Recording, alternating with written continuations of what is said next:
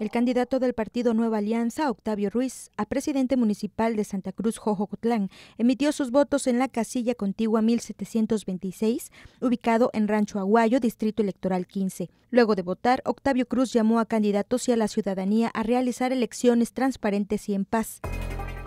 Satisfecho con la ciudadanía, vemos eh, de verdad, creo que se va a, detener el artesanismo, vamos, creo que la gente está decidida a salir a hacer un cambio, no solo en el municipio, sino a nivel estatal. Queremos que este proceso electoral sea lo más transparente, sea lo más pacífico.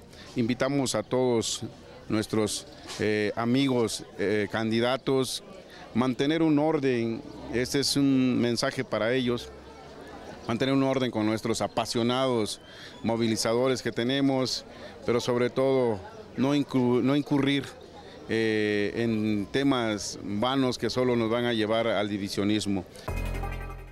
Igualmente, el candidato manifestó su inconformidad con el desconocimiento que mostraron representantes del Instituto Nacional Electoral al no dejar instalarse a propietarios del panal en la cabecera municipal y en la colonia del Valle.